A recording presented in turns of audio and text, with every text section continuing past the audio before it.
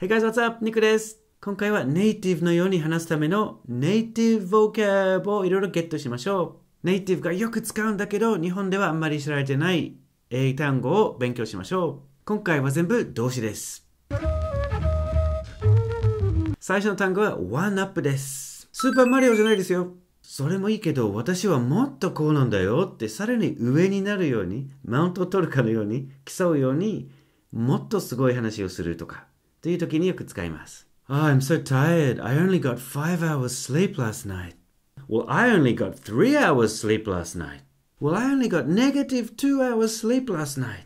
これがワンアップする感じなんですね。ワンアップを文で使ってみましょう。He always one-ups me. 彼はいつもマウントを取るように、こうもっとすごい話をしようとする。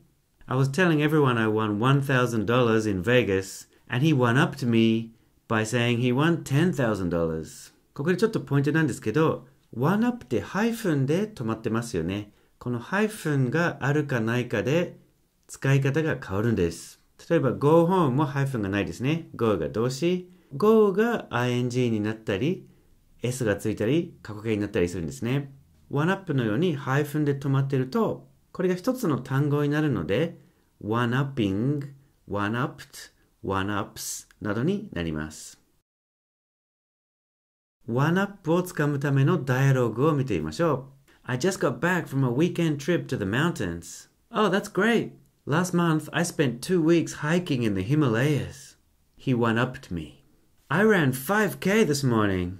Nice. I ran 10k and then did a full workout at the gym. He keeps one upping me. 次は bond です。そのボンドじゃない。 ボンドはもともと絆という名詞なんですね。例えば、we have a strong bond. The bond between mother and child. そういう意味の名詞として使うんですね。そしてさらに絆ができる、絆が深まるという意味の動詞として使います。この動詞は目的語は使わないです。例えば、we bonded。絆ができたとか、絆が深まった、仲良くなったですね。よくある使い方は、we bonded over our love of music. We bonded over our love of camping. もう一つよく使うのは we bonded という文の後にプラス動詞の ing を付け足す。例えば we bonded learning English together. We bonded working together under a strict boss. 厳しい状況で絆ができることも多いですよね。さらに it was a bonding experience という表現もします。it をもじって応用します。 例えば going camping was a bonding experience. Working together was a bonding experience. そのボンドじゃないって。When I was fresh out of college, I had a really strict boss. Everyone on my team was really worried he would shout at us. We used to help each other a lot and we ended up bonding. We don't work together anymore, but we still keep in touch and often go out. Working together in a stressful environment can be a bonding experience. Fresh out of college は新卒っていう意味ですね。結局何々しましたは ended up ing。そしてこの can はしてもいいとかできるという意味じゃなくてだったりもする。そういう時もあるというような意味で使っています。皆さんも例文を作ってコメントの時に書いておいてください。今回の素敵な単語候補は cherish です。cherish はとってもいい意味の単語で二つの意味が重なって入っている感じです。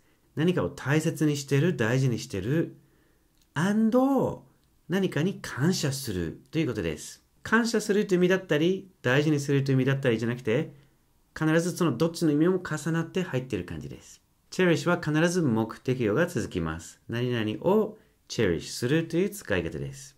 例えば、I cherish my children. 子供を大切にしてる生まれてきたことに感謝してる。恵まれてると思うということです。I cherish my freedom. 自分の自由にすごく感謝してる。そして自分の自由をすごく大事にする人です。という意味です。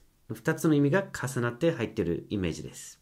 このように my children, my freedom など必ず目的語が続くんですけど、目的語として名詞説もよく使います。例えば、We should cherish how safe Japan is. 日本が安全だということに感謝すべき。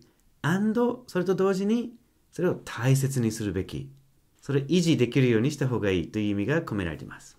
結婚式の誓いの言葉でよく使う単語なんですね。例えば、Do you take this man もしくは woman to love and to cherish なんとかなんとかってよく使います。この人を大切にするっていうのももちろん大事だし、そして感謝するのも大事ですよね。あの、いて当たり前に思わないことという意味も込められています。I will always cherish the handmade presents from my children. My kids used to make all kinds of things in kindergarten and elementary school, like paintings and mugs, etc. The paintings might not be masterpieces, and the mugs might leak, but I will cherish these forever. 皆さんも cherish の素敵な例文を書いてコメントの時に書いておいてください。次の単語は embellish です。大元は飾りをつけるというような意味なんですけど、今は話を盛るという意味で使います。adding extra information that isn't true to make something sound more impressive ですね。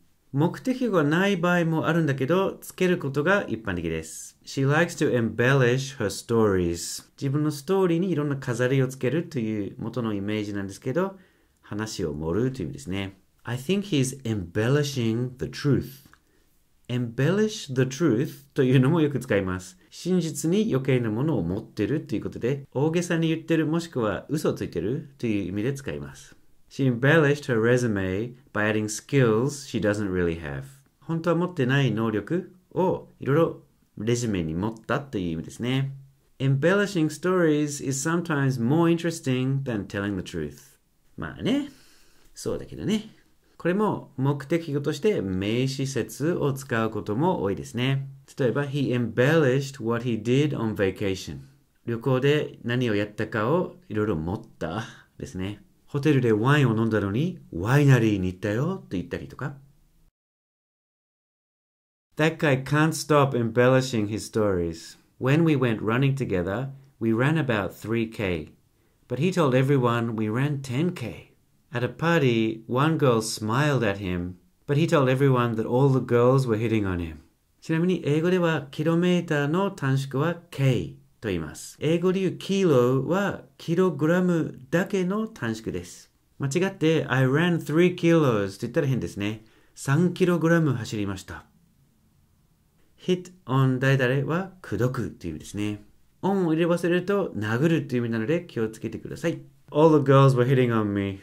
All the girls were hitting me.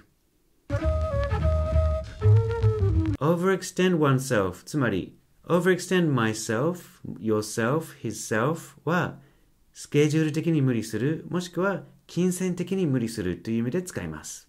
自分伸ばしすぎるというような直訳なんですけど、こういう意味で使います。